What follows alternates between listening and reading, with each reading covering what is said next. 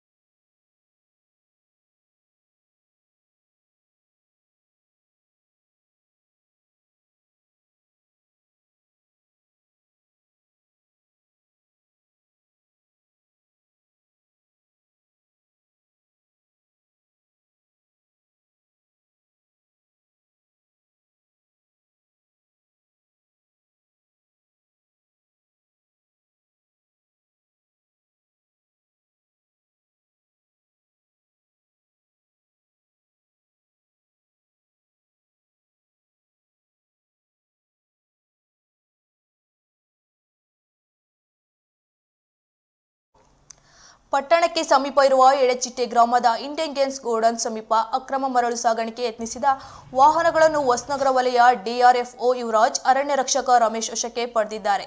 ಪಿಕಾಫ್ ಮಾಲೀಕ ದೇವರ್ಸ್ ಅಭಿಷೇಕ್ ಹಾಗೂ ಟಿಪ್ಪರ್ ಮಾಲೀಕ ಪರಮೇಶ್ವರ್ ವಿರುದ್ಧ ಅಕ್ರಮ ಮರಳು ಸಾಗಾಟ ಕುರಿತಂತೆ ಇಲ್ಲಿನ ಅರಣ್ಯ ಇಲಾಖೆಯಲ್ಲಿ ಪ್ರಕರಣ ದಾಖಲಾಗಿದೆ. ಪ್ರತಿದಿನ ತಡರಾತ್ರಿ ಎಗ್ಗಿಲ್ಲದೆ ಸಾಗಿರುವ ಅಕ್ರಮ ಮರಳು ಸಾಗಾಟ ದಂಧೆಗೆ ಸೂಕ್ತ ಕಡಿವಾಣ ಹಾಕುವಂತೆ ತಾಲೂಕು ಆಡಳಿತವನ್ನು ಗ್ರಾಮಸ್ಥರು ಒತ್ತಾಯಿಸಿದ್ದಾರೆ.